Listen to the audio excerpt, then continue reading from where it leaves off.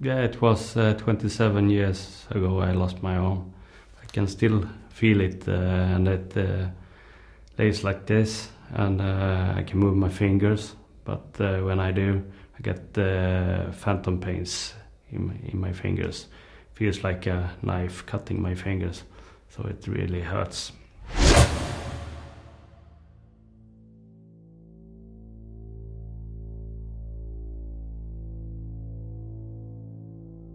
My brain um, doesn't give gives the message to my legs.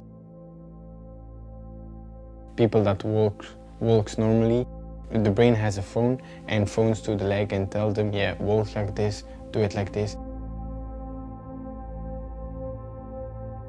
I just don't have a phone. The doctor said something not right here. Once I got to the hospital, they, um, they put me on an MRI. And then they saw there was a bad tumor pressing against my spine. After the operation, the doctor came to me. He said, you'll never walk again.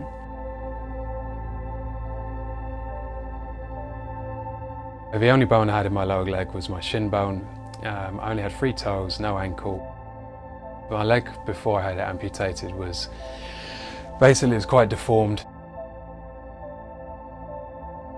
I said to the doctors, look, we've tried, why don't we just cut it off? It was something natural because I was born without it.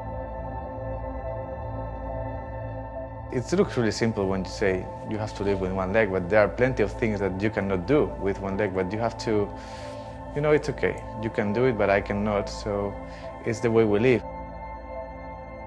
On September 4th, uh, I was the rear vehicle and a, uh, an IED, an improvised explosive device, went off underneath the vehicle. I started to not be a very nice father to my children. I started to be a worse husband to my wife. I was just felt like I was dragging everybody down around me.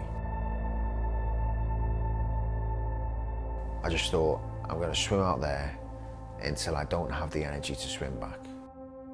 Sometime uh, when I somebody throw a ball or something on the right side, I can just uh, think I can pick it down with a, with my right arm, but uh, I don't succeed as well as you understand.